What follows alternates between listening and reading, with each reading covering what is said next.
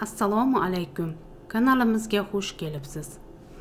Mehri shunchalik sovuqqonlik bilan savol berdiki shamsiddinning eti junjikib ketdi. Ishonchingiz komilmi? Shamsiddin miq etmadi. Sizdan so'rayapman aka onam o'ladilarmi nima qildiysan hovli shu ahvolda turaversinmi? Yo'q biroq men hali onamdan umidimni uzganim yo'q.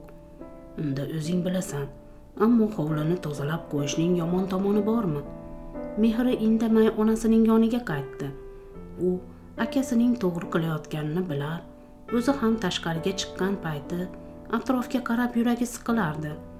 Ekinlar sarg'ayib begona o't bosgan cho'pu yog'ochlarini ajratib olishganiga qaramay qulab tushgan eski uyning tuprog'i hanuz tepa bo'lib yotar bir tomonda yangi uy qurish uchun qum va shag'al to'kib qo'yilgan devorlarning ohaklari qo'porilgan xullas hovlining egasi ko'chib ketganga o'xshardi.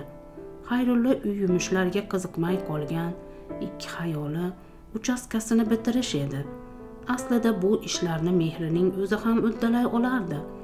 Qiz bola bo'lsa-da onasiday gavdali epchil chayir edi. Biroq qo'li ishga bormayotgandi. Hovlining u yoq bu yog'ini tartibga keltirish onasining o'limini tan olish bilan barobarday tuyulardi nazarida. U ma'qul xolaning yoniga o'tirib yuziga termildi. Onasi hanuz ko'zlarini yumib yotardi. Onajon shunchayam uxlaysizmi? Turing endi. Bu qandoq uyquki kunduzniyam tunniyam bilmasa orqangiz botib ketmadimi? Turing bir marta bo'lsayam menga javob bering. Otimni aytib chaqiring. Sizga uy qurib berayotgandim. Ishlarim chala qoldi. Qizingizni subutsiz qilib ketmang.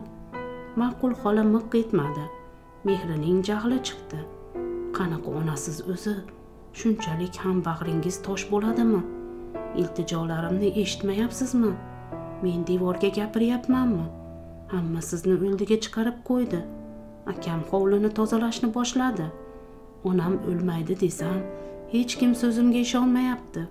Kuchingizni ko'rsating yuzimni yorug' qilib hammani uyaltirib tashlang. Ko'zingizni oching onajon. Yana ma'qul xola miq etmadi.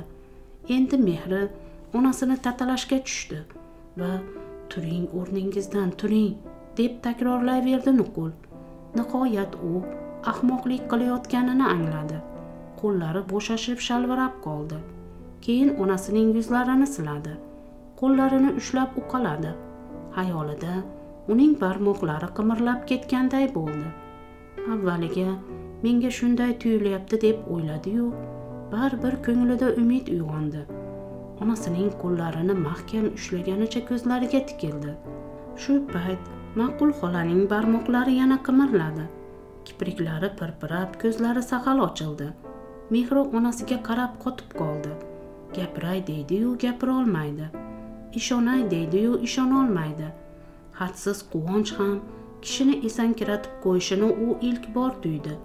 Tushimmi o'ngimmi deb o'zini chimchilab ko'rdi. O'ngi ekan balki menga shunday ko'rinayotgandir degan xayolda onasidan nigohini uzmadi. Ma'qul xola ko'zini kattaroq ochdi. Shundagina qiz iltijolari xudoga yetib borganini tinimsiz muolajalarini kor qilganini hayot bosangisi og'ir kelganini o'n besh kun deganda onasi dunyoga qaytganini angladi va quvonganidan qichqirib yubordi. Onam onam ko'zlarini ochdilar. Qizning shodon ovozi uyning to'rt devoridan nariga o'tmadi. Ammo u bu quvonchni ichiga sig'dira olmasdi. Bu sevinch yuzaga chiqmasa tanasini yorib yuborardi. Shuning uchun hovliga chopib chiqib ovozining boricha baqirdi. Onam onam ko'zlarini ochdilar. Har daqiqa ma'qul xolaning o'limini kutayotgan kelin va o'g'illar bu xabardan esankirab qolishdi. Keyin mehri qanchalik rost gapirayotganini bilish uchun birin ketin uyga qarab yugurdilar. Ma'qul xola shiftga qarab yotardi. Yanga yangajon onam tirildilar. Onam ko'zlarini ochdilar. Mehri yangasini quchoqlab olib tinmay o'pardi so'ng shamsiddinni xayrullani quchoqladi. Sho'rlik onam bechora onam joni shunchalar qattiq ekan a naq o'limning og'zidan qaytib keldi ya uni menga xudoning o'zi qaytarib berdi ya hamma ma'qul xolaga qarab haykalday qotib qoldi. Meni uyimga olib borib qo'y. Onasining birinchi gapi shu bo'ldi. Mehri uni quchoqlab yuz ko'zlaridan o'pdi. Ona uyingizga olib kelganman. Biz uyimizdamiz.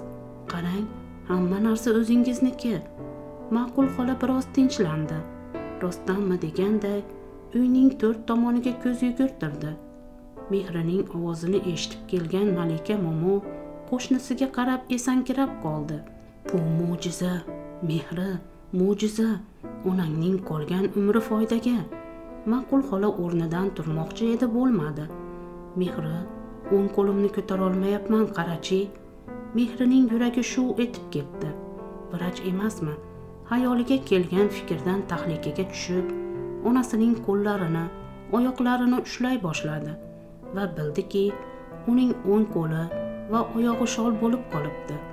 Ammo u baribir xursand shunisiga ham shukur qilayotgandi.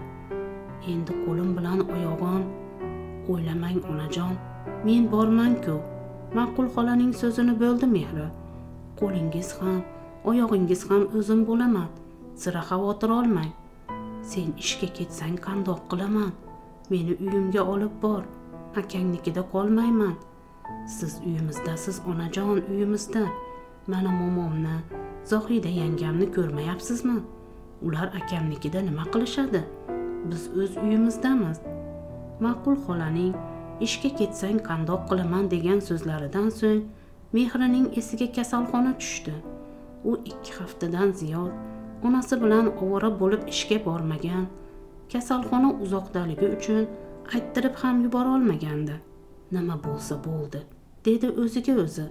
Men uchun hozir eng muhimi onamning hayoti. U boshqa xayollarni miyasidan chiqarib tashladi. Ertasi kuni onasiga ozroqgina atalab pishirib olib kelayotganda kutilmaganda uni hangu mang qilib kasalxona bosh vrachi ulug'ov o'rinbosari bilan kirib keldi. Endi meni ishdan haydashadi degan fikr miyasiga urilgan mehri ularni ko'rib taxtaday qotdi. Rahbarini uyga taklif qilishni ham hatto salom berishni ham unutdi. Ulug'ov uning holatini payqadi muloyimlik bilan so'radi. Yaxshimisan ona qizim. Dom daraging yo'q.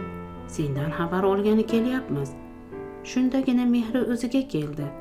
Qo'lidagi kosani so'riga qo'ydi da ularga peshvoz chiqdi.